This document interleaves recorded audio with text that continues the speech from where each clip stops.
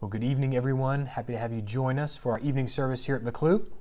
Tonight, we are going to be continuing our series looking at how Jesus changes everything, looking at many of these interactions that Jesus has with women throughout the Gospels. And so tonight, we're going to be looking at a familiar story, the story of the widow's mite. Uh, but before we do that, we're going to turn to the Psalms for our call to worship. Uh, from Psalm 146, we'll be reading the whole chapter, verses 1 through 10. Praise the Lord. Praise the Lord, O my soul. I will praise the Lord all my life. I will sing praise to my God as long as I live. Do not put your trust in princes, in mortal men who cannot save. When their spirit departs, they return to the ground. On that very day, their plans come to nothing. Blessed is he who help, whose help is in the God of Jacob, whose hope is in the Lord his God, the maker of heaven and earth, the sea and everything in them the Lord who remains faithful forever. He upholds the cause of the oppressed and gives food to the hungry. The Lord sets prisoners free. The Lord gives sight to the blind. The Lord lifts up those who are bowed down. The Lord loves the righteous. The Lord watches over the alien and sustains the fatherless and the widow. He but he frustrates the way of the wicked. The Lord reigns forever. Your God, O Zion, for all generations. Praise the Lord. Will you pray with me? Lord, we thank you for this opportunity to gather tonight to, to look again at your word. God, you are worthy of praise. Lord, we thank you that you care for the oppressed, that you watch over the alien, that you sustain the fatherless and the widow. Lord, thank you that you are a God who is trustworthy who desires the good of your people. And so, God, we turn to you and we praise you. We desire to see you high and lifted up. And Lord, tonight as we consider this passage, when we see the generosity of this widow, we think of your generosity in giving your life for us.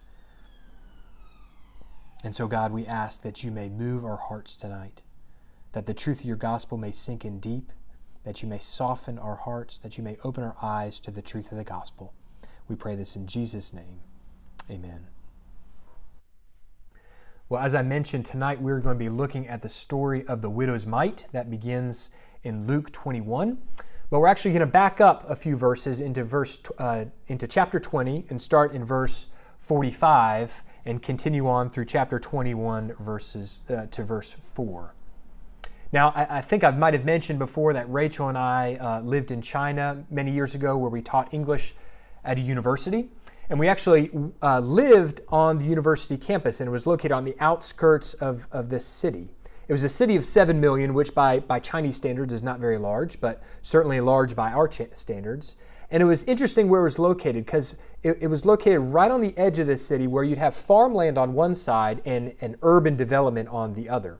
And so, what we loved to do uh, was walk around the area around our university. Uh, and it was quite an impoverished area. It was you'd walk around and see rubbish just littering the streets. You'd see these little cinder block homes with tin roofs, uh, no real insulation for these uh, family dwellings. Uh, probably a lot of them no running water.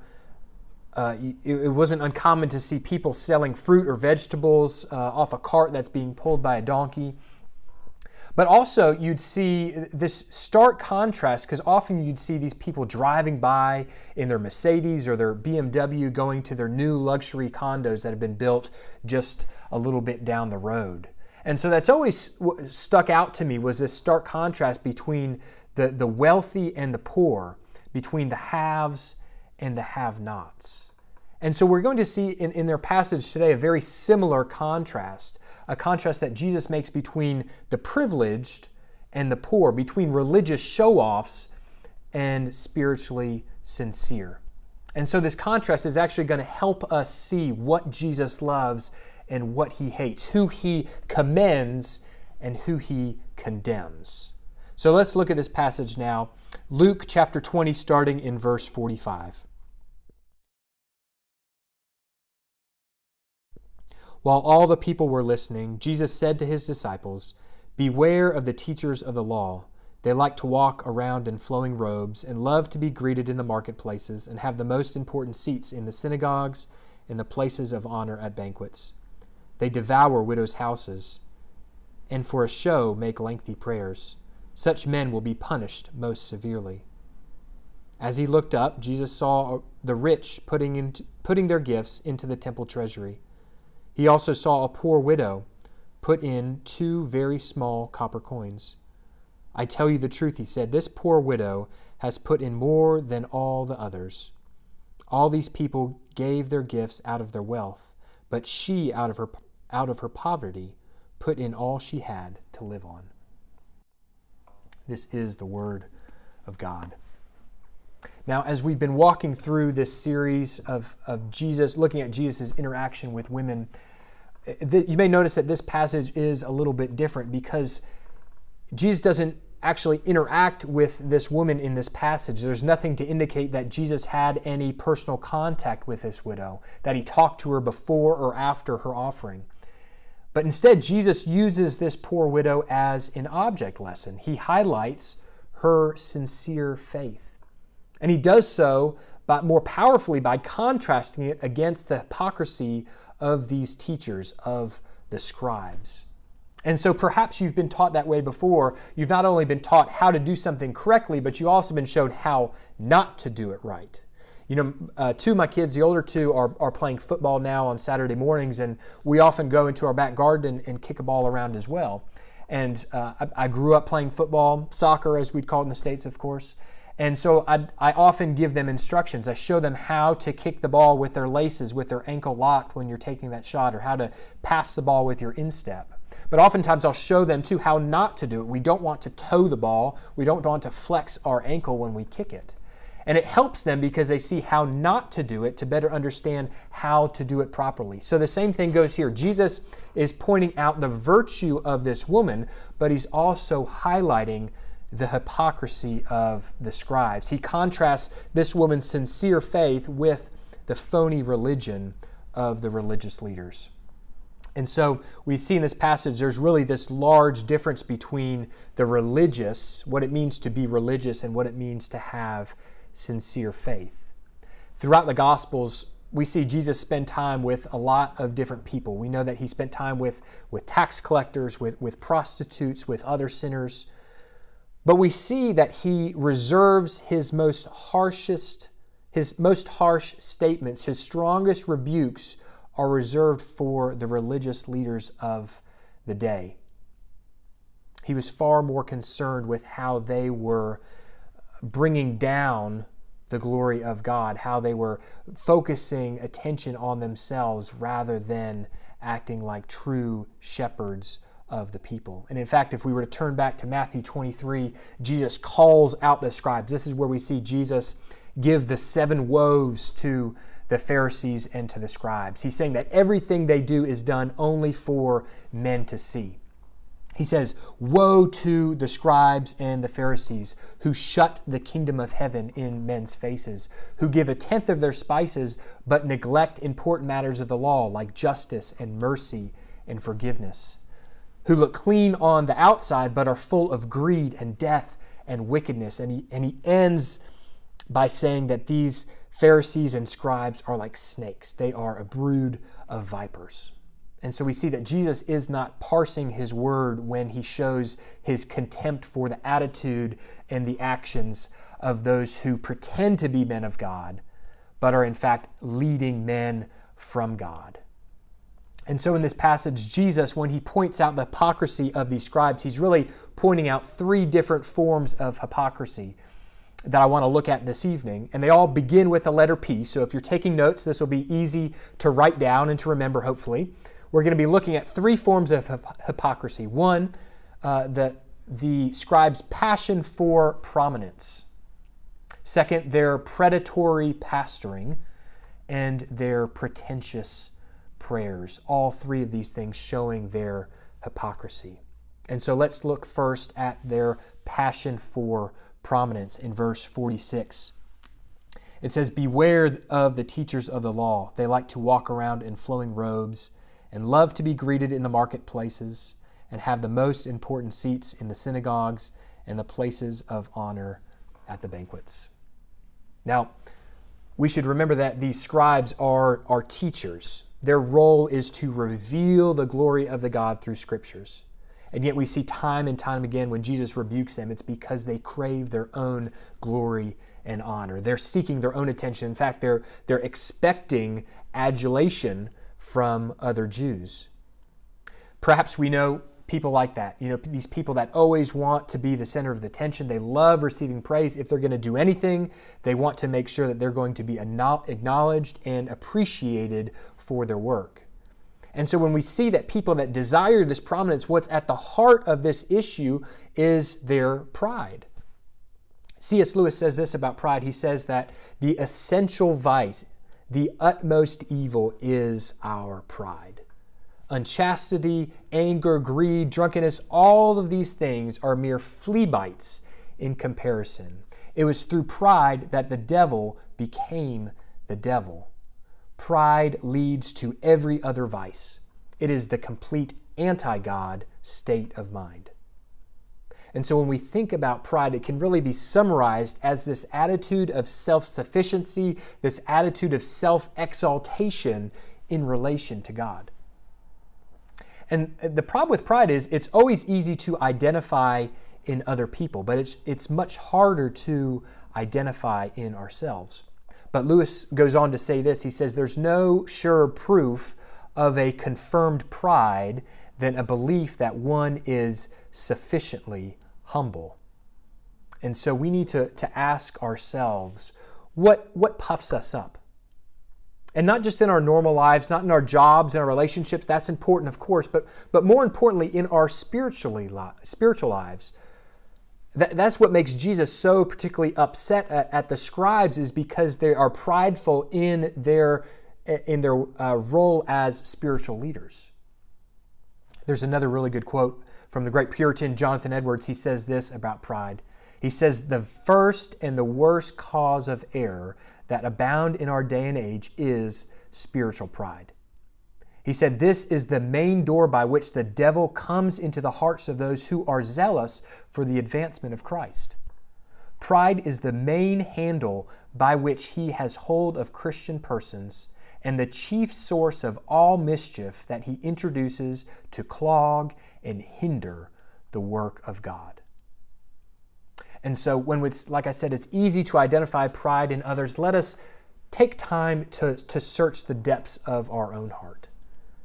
Certainly, we don't parade around like these scribes in, in long robes. We may not care about where we sit at church. But our pride certainly shows itself in other ways, maybe more subtle ways. Maybe our pride isn't detectable to others, but it's certainly something that we sense ourselves. And so let's, let's consider what, what tempts us. How does our pride tempt us? Are, are we tempted to prove ourselves based on being active in service? Do we try to, to prove our worth through being faithful in prayer, by being more knowledgeable of the scriptures, by having perfect church attendance, or maybe being more concerned for the needy? You know, all those things aren't bad in and of themselves. But when we view them as the source of our, of our personal significance, we're no longer honoring God. We simply want to honor ourselves. And so, in addition to this, this passion per, for prominence, Jesus points out that second form of hypocrisy that the scribes show it's that predatory pastoring. In verse 47, it says that these scribes devour widows' houses. Now we don't we're not given any explanation of what that really means. It, it, may indicate that in trying to help widows maybe manage their finances, they're actually swindling them out of their money. Perhaps they're persuading them to give more to the temple than they can actually afford or ought to give. But whatever it may be, we, we certainly know and can understand that rather than caring for these vulnerable women, these scribes are actually taking advantage of them. And so this really corresponds well with, with what we just finished up studying in, in 1 Peter. We looked a couple weeks ago at 1 Peter chapter 5, where Peter discusses the role of elders. And he, he tells el- the elders that they are to be the shepherds of the flock. And in doing so, they, they must do so not because they must, but because they are willing to lead, not out of greed, but out of a desire and an eagerness to serve. Not lording over others, but leading by example. And so, this description that Peter gives, we can see in this passage, is certainly not being followed by the scribes of the day. As shepherds, leaders are to care for the flock, to nurture, and to provide for the needy. But we see here, instead of the scribes being shepherds, they're actually playing the role of the wolf. They are devouring the sheep rather than protecting them. And so that leads us to this last form of hypocrisy that Jesus points out here the hypocrisy through pretentious prayers. Over the last few months, uh, our families had these uh, electrical issues at our house.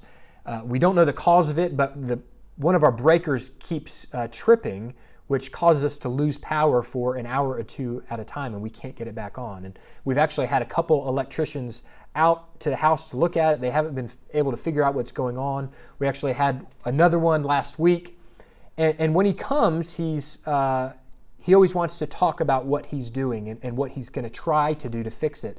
And he's using all this technical jargon that I just I really have no under, no real understanding of, of what he's saying. I'm not an electrician. I know very little about uh, electricity. I can change a light fixture, and that's really about it. So when he's talking to me in these technical terms, a few times I've just had to stop him and ask him to explain it another way because I just I just don't understand. Certainly, he's demonstrating his, his knowledge and his expertise, expertise, but it's of no benefit to me as uh, a, someone who's not an electrician. And so the same goes for the scribes here. Their prayers are only being used to make themselves sound important, to display their own level of religiosity. But the thing is, although they want to appear pious, their words are actually empty and useless. And as a result, their prayers are rejected by God. You know, we probably, we, still see this in the church today. Uh, oftentimes, when we pray publicly, we can be very concerned about who is listening to our prayers. And we have two different kinds of people. We can have those who are very eager to pray in public because they like to be heard, they like to use their eloquence. And while eloquence doesn't mean that it's insincere, oftentimes we focus on the eloquence and our words are just empty. Other times we have people who just really hate to pray in public because they're afraid of what other people may think of their prayers because they're ineloquent. And so the problem is here, both, both sides, both these groups uh, are, are focusing on themselves rather than focusing on God, who is the object of our prayers. And so that's one of one of the two questions we need to ask when we go to prayer is is who is the object of our prayer, but also what is the purpose of our prayer? The object of our prayer must always be God. It doesn't matter who is listening to us, it doesn't matter who is around. It's God who is should be the recipient of our prayers. And then when we think about what's the purpose of our prayers, the purpose of our prayer should not be to earn the admiration or the, the appreciation of those who may hear our prayers, but instead it should be to proclaim our praise and thanksgiving to God, to confess our sins and to make our requests known to Him. Because anything short of that is a form of hypocrisy, which Jesus shows here that He detests. And so now we turn to the beginning of chapter 21, where we look at this poor widow who demonstrates her sincere faith in the face of phony religion. Now, as we, as we look at her, it's important to note a few things about this description, both the setting and, and the character. Jesus and his disciples, when he's talking to them, are, are in one of the courtyards of the temple. And it was in this courtyard where these collection boxes would be set up for giving toward, uh, toward the temple. And there actually would have been 13 of these receptacles uh, spaced out throughout the room. And they would have been, these receptacles were actually shaped uh, in the form of a trumpet. So it had a very small opening and then opened up toward this basin at the bottom where the, the coins would, would clink down and collect. And so it was a rather very uh, a public setting for giving. Though you could try to be private in giving your money, uh, it could be very easy to do so in a public manner. Imagine if you came in and there'd be a lot of people there that would see you potentially, and you came in with lots of coins and you'd have to drop them one at a time, and you could hear each coin clink into the receptacle. Uh, you know, it, you could do so and, and certainly uh, be noticed by many people. If you wanted to be known for your giving or your generosity, this was certainly the place to do it. But we see this widow come in and we must remember that widows in that day and age were, were considered the most vulnerable in society. They had no regular means of financial support. They couldn't work in society like many of the men could. They had no one to care or protect for them. Many, they may have children of their own that they have to care for. So, as a result, they have to rely on the charity of others. And so this widow walks in, and she, it says she puts two very small copper coins in one of these receptacles.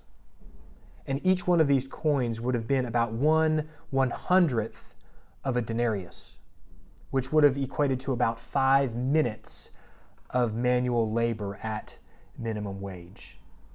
And yet we see in, in verse 3 that Jesus says, I tell you the truth, this poor widow has put in more than all the others. All these people, they gave their gifts out of their wealth, but she came in and out of her poverty. She gave all that she had. And so Jesus here is wanting us to see the true value of her gift. By human standards, she didn't, she didn't give much of anything. You know, her two little copper coins would really not do anything to benefit the work of the temple or the work of the priests. Would, they'd really be totally unaffected whether or not she gave that money. However, by God's standard, her gift amounted to much more than, than everything else that others had given combined.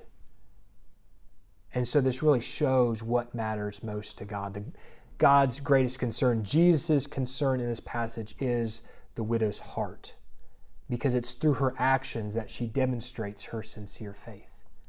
You see, her sincere faith doesn't look to elevate herself. It doesn't look to see how she can benefit from her relationship with God. Unlike the scribes who are more concerned with seeking their own glory, this woman seeks the glory of God. She demonstrates that it is God alone who is worthy of her praise.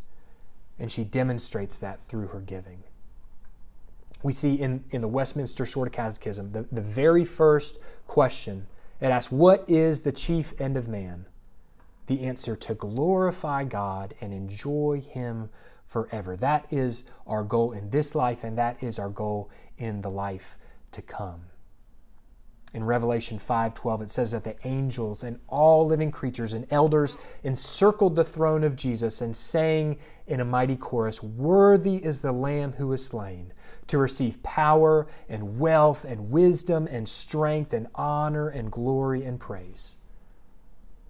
And so we see here through this poor widow's sincere faith, she demonstrates that God is worthy of her worship and that God is worthy of her resources. In giving her money, she's not trying to attract the attention of men.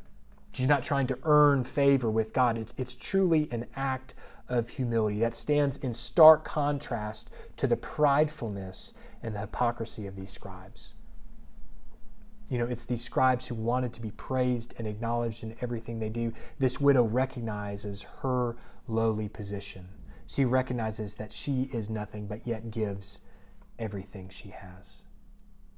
John Calvin said this He said, The chief sacrifice that God requires of us is self denial. Because it's only through self denial that God can be elevated in our lives. We cannot worship self and God. We only have one throne in our hearts, and it cannot be shared. We cannot have God sit on our throne while we still sit on that same throne. You know, picture with me the scales. It, it, when one side goes down, the other side goes up. If this side goes down, this side goes up. You can't have both sides up at the same time.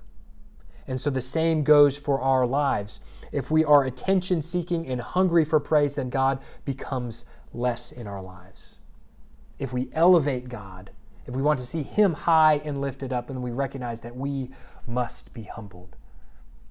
John the Baptist said this when, when Jesus started his ministry and he too is baptizing people. People come to John the Baptist and are concerned for his own ministry. What's going to happen now that Jesus is here? And what does John respond by saying? He says, He must increase and I must decrease. And so not only is, is God worthy of our worship that we see, but He's also worthy of our resources. Because the same holds true. The more we value our possessions, the less that we are going to value God.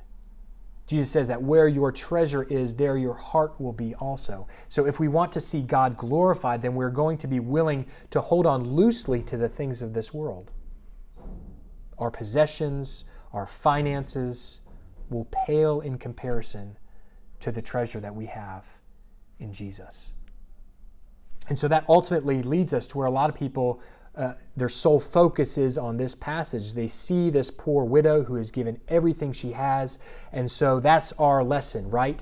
That we need to be willing to give everything that we have.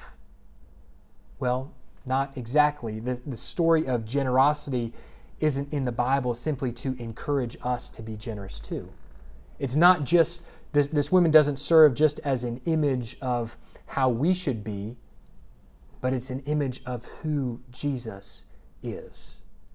It reveals to us the gospel story. It's a foretelling of the sacrifice of Jesus. Because it's only in this very next chapter in Luke where Jesus is betrayed and arrested and is soon to be crucified. It says in Philippians 2 that though Jesus was in the form of God, he did not consider equality with God something to be grasped. But he made himself nothing, taking on the very nature of a servant. Being made in human likeness and being found in the appearance of man, he humbled himself and became obedient to death, even death on a cross. And so, if the actions of this widow seem scary or foolish to us, let us look to the cross, for this story points us to Christ. It is Christ who has sacrificed everything for us. It is Christ who willingly died that we may have life. He suffered the penalty for our sins so that we may be free. And this is the good news of the gospel. And so, for those of us who have the good news, then we are motivated to lives of generosity and we're not generous because we think we have to earn God's favor still, but it's specifically because we have God's favor, because out of a heart of gratefulness at the gift of life through the blood of Jesus that we have been given, that we are naturally led to lives of generosity. So we give generously because God has generously given to us. And so, really, two quick principles when we think about generosity that God deserves priority in our giving, and God deserves sacrificial giving. And so, when we think about prioritized giving, what does that mean? Well, it means that God, that we are willing to give God everything because we recognize all of our resources come from Him. If we're truly motivated out of a gratefulness for God's generosity to us, then we're not going to be satisfied with giving God just our leftovers. Christ and His kingdom are going to be a priority in our lives. So therefore, we honor the Lord with our first fruits. But secondly, we also give sacrificially. And this really applies to all of us, whether we have a lot of money or not. Generosity isn't contingent on how much money we have. Everyone, every one of us can be generous.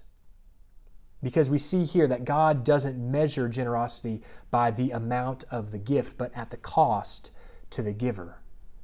And so generous, generous giving truly means that it is going to hurt us. But we recognize the goodness that it brings and the glory that it gives to God. And so, as we think about this passage, oftentimes we, have probably heard it in the context of being used by ministers who uh, are maybe a little concerned about cash running low at church or a building project that's about to get underway. I, I assure you that this passage was not picked because of our own refurbishment project that's, that's about to begin. But I think it would be foolish if we didn't see this project as a point of application to this text. Our refurbishment project is, is not going to be cheap. It's, it's been said before that this is going to require sacrificial giving, but we need to remember the purpose of this project. It's not to make us more comfortable, but to make God known. These renovations will, will give us the ability to do more ministry, to be able to welcome more people into the church that they may experience the love and fellowship of Christ. And so we can be confident that in giving generously, that is directly linked to the work of the gospel. And, and it, it's important to recognize here that it doesn't only mean being generous with our finances. We must learn to be generous with our talents and with our time because a, a project like this, it's really going to have no lasting benefit to the church or to the community if we don't also commit ourselves to the work of the gospel.